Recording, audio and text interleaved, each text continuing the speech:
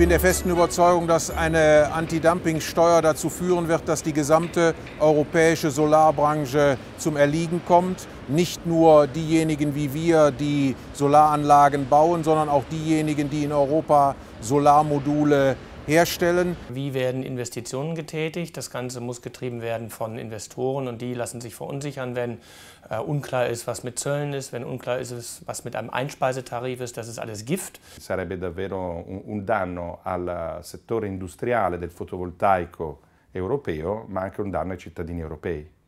We're basically actually killing this transition towards renewable energy.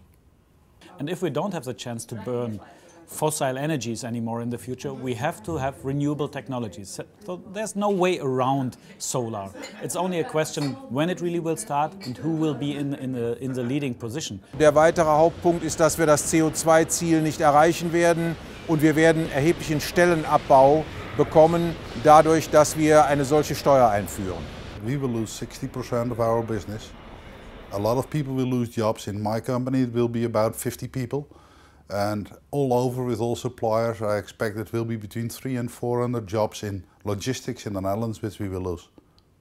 Go green, don't put anti-dumping on it, because it will stop the usage of solar panels in Europe.